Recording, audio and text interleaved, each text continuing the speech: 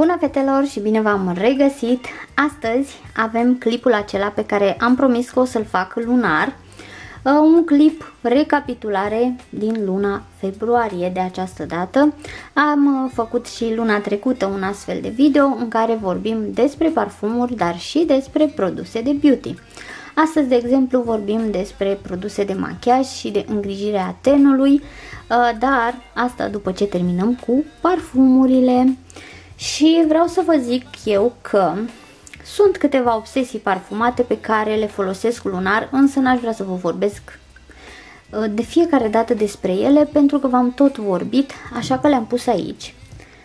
Uh, sunt parfumuri pe care, despre care v-am tot vorbit și uh, pe lângă acestea am mai descoperit și altele, am mai folosit și altele despre care poate nu v-am vorbit atât de mult. Începem uh, întâi cu obsesiile parfumate despre care o să vă spun doar câteva cuvinte, nu o să mai intru în detalii, doar ce am mai observat eu în ultima perioadă la ele.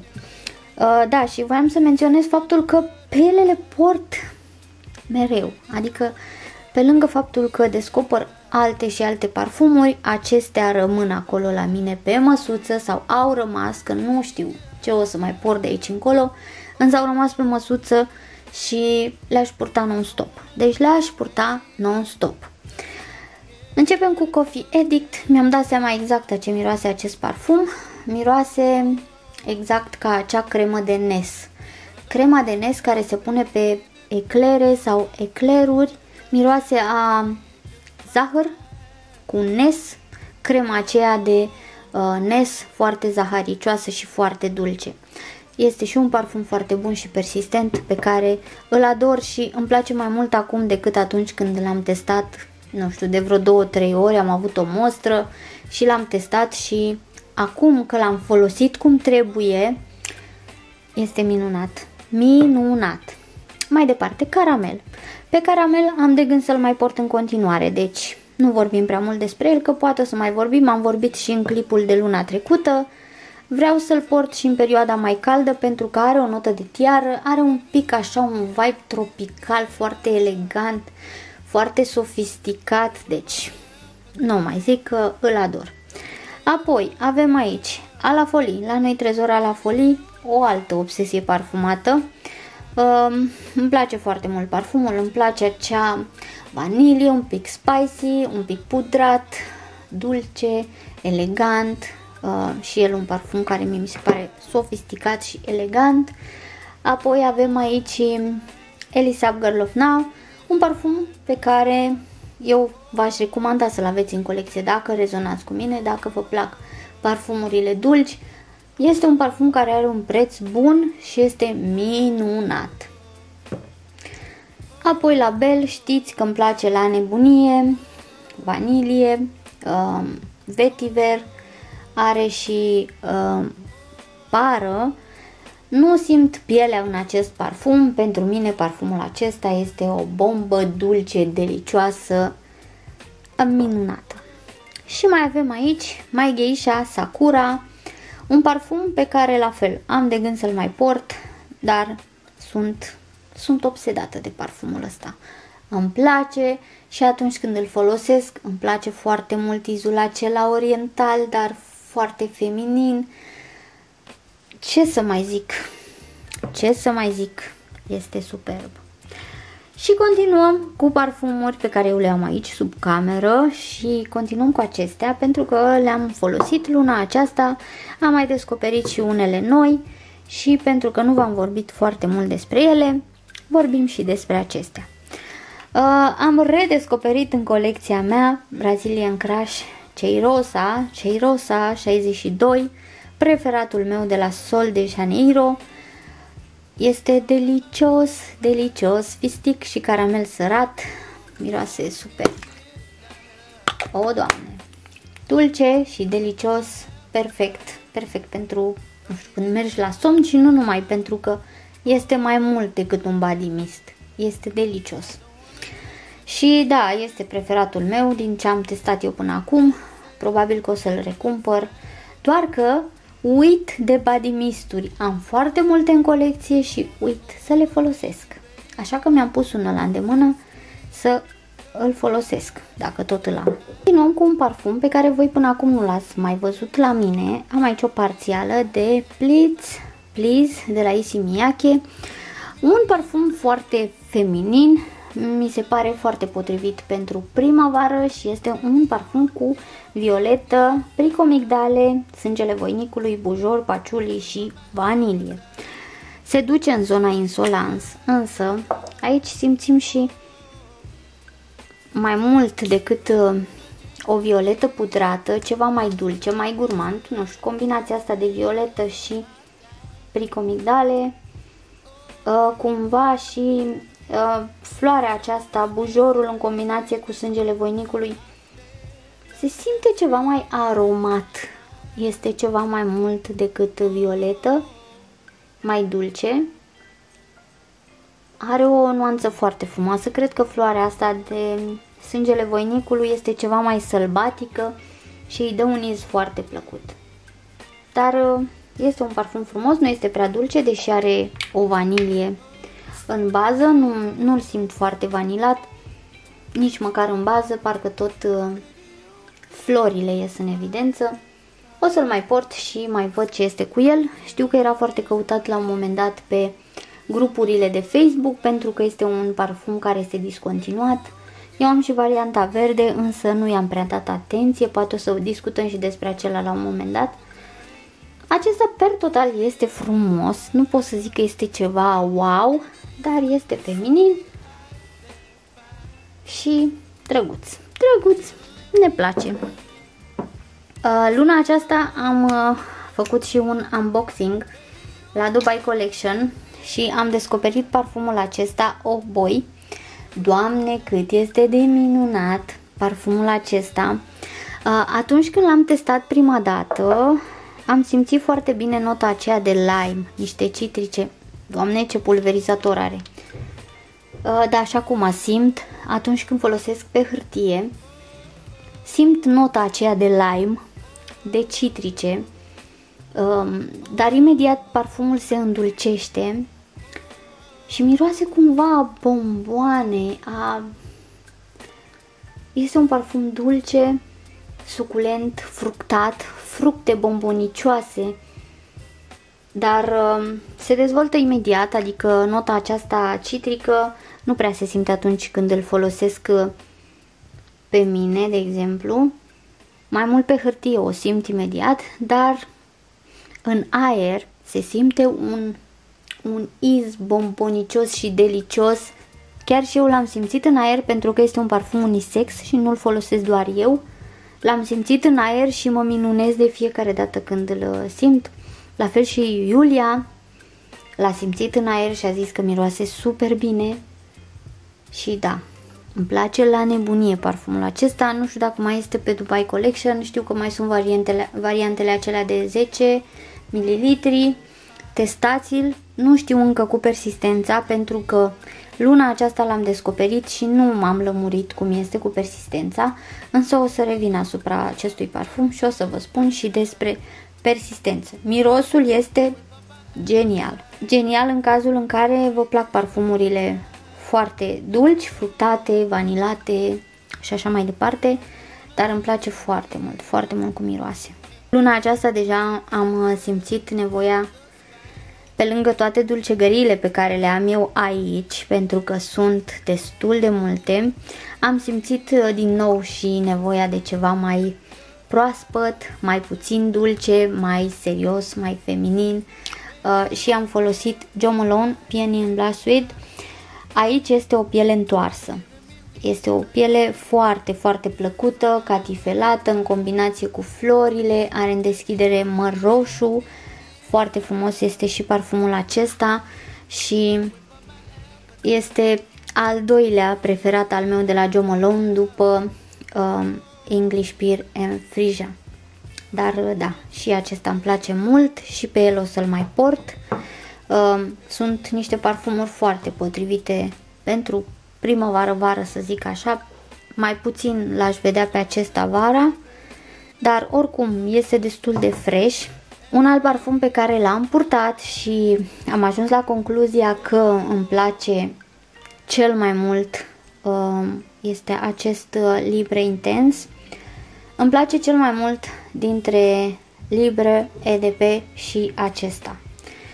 Chiar este unul foarte frumos. Știți că am primit un decant de uh, Libre originalul și mi-am dat seama că acesta chiar îmi place foarte mult.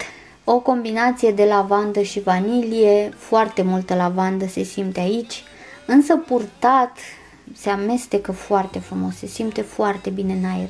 Este un parfum impunător, așa foarte serios, foarte plăcut și da, un alt parfum de avut în colecție, aș zice eu.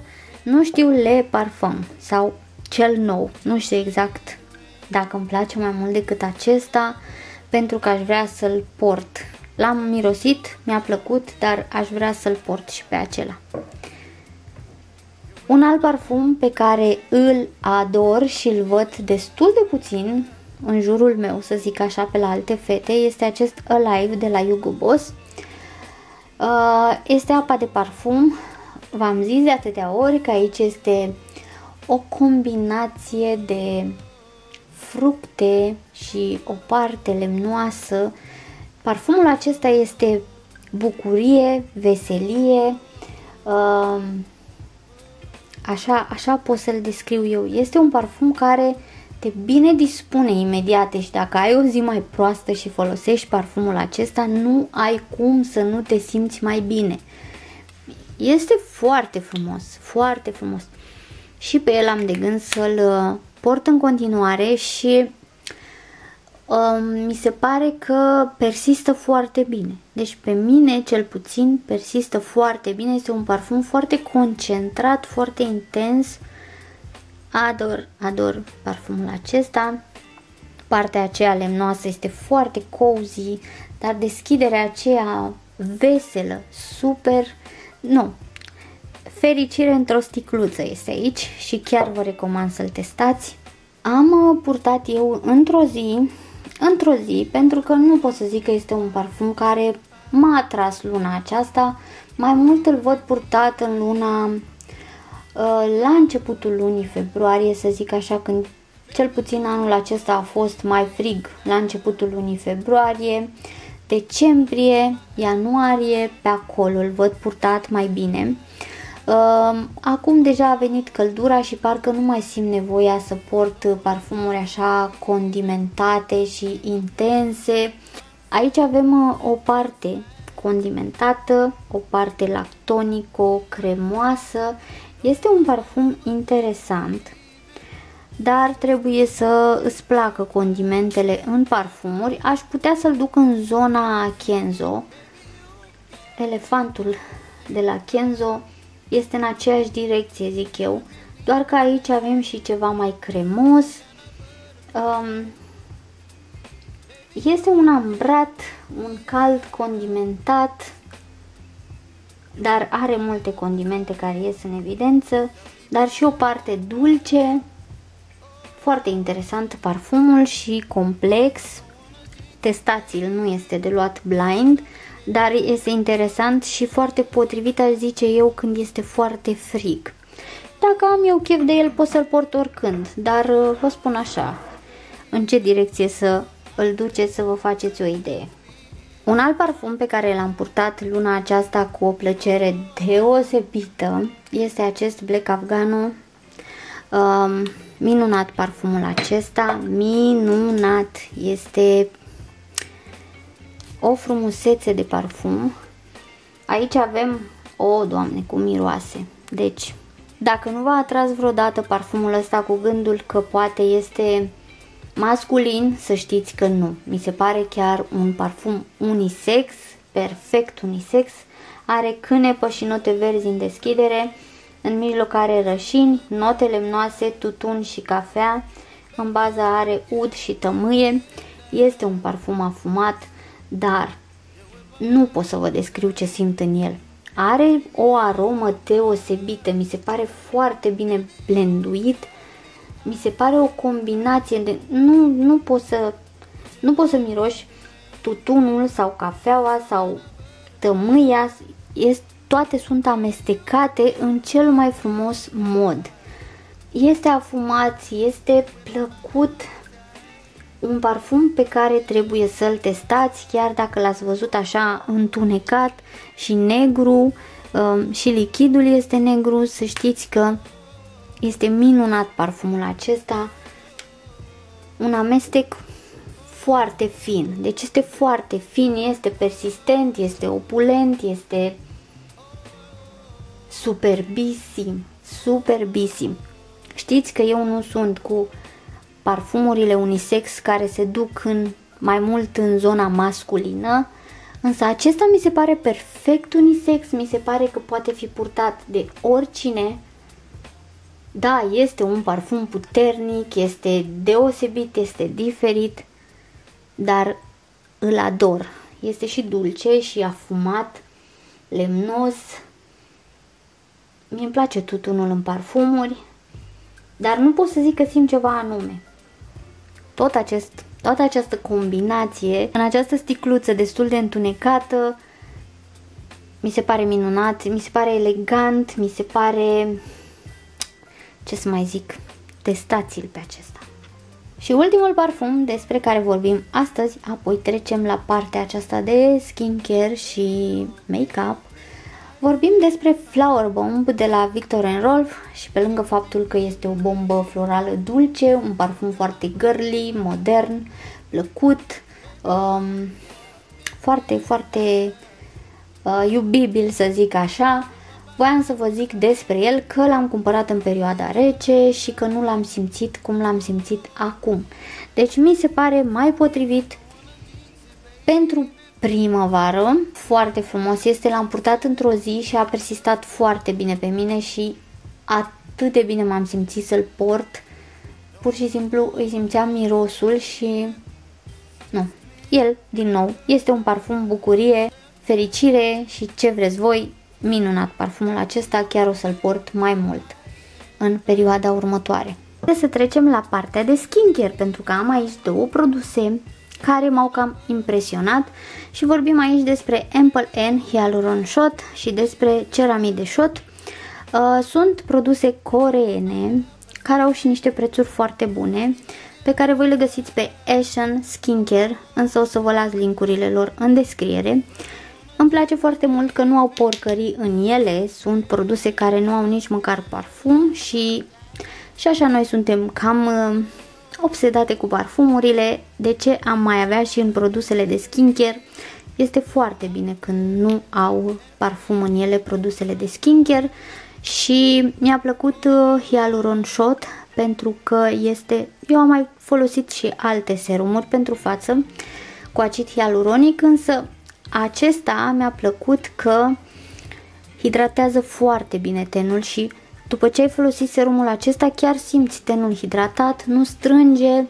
Um, mi-a plăcut mult, oricum folosim o cremă după, dar eu cum am tenul mai uscat, um, am perioade când este foarte uscat, prefer să-mi hidrateze și să simt senzația aceea de ten hidratat, chiar dacă folosesc o cremă după.